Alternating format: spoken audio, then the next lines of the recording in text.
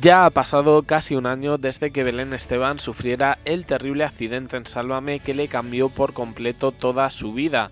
La madre de Andrea Janeiro se colgó de una estructura situada a pocos metros de altura, con tan mala suerte que cayó al vacío y en la caída se fracturó la tibia y el peroné. La mujer de Miguel Marcos tuvo que alejarse un tiempo de Telecinco y de Sálvame e incluso requirió pasar por quirófano para recuperarse. Y aunque hoy la vemos con otro talante, lo cierto es que todavía sufre algunas secuelas. Ella misma lo confesó en una exclusiva eh, en una revista la semana pasada.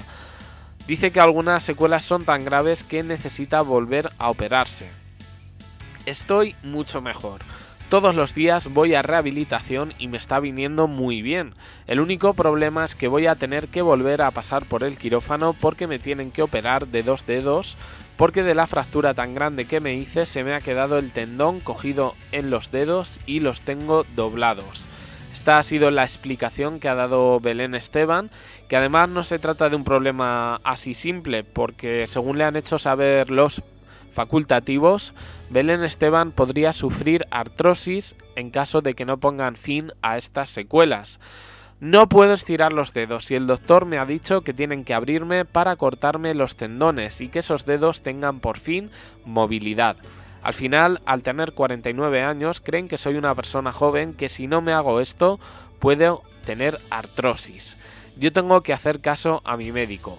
No es el único mal recuerdo de la Em, de la madre de Andrea Janeiro respecto a su accidente, sino que también tiene que limitar el uso de determinado calzado, tacones. Ella que es muy taconera, ahora no se puede poner tacón ni tampoco puede conducir porque según ella no tiene fuerza ni para acelerar ni para frenar. A esto hay que unirle un problema que tuvo eh, de unos quistes que ella misma confesó en su reincorporación a Telecinco en un deluxe, unos quistes que al final fueron benignos, pero que de alguna manera se le juntó todo, secuelas físicas y secuelas eh, psicológicas que todavía tendrá que aprender a superar.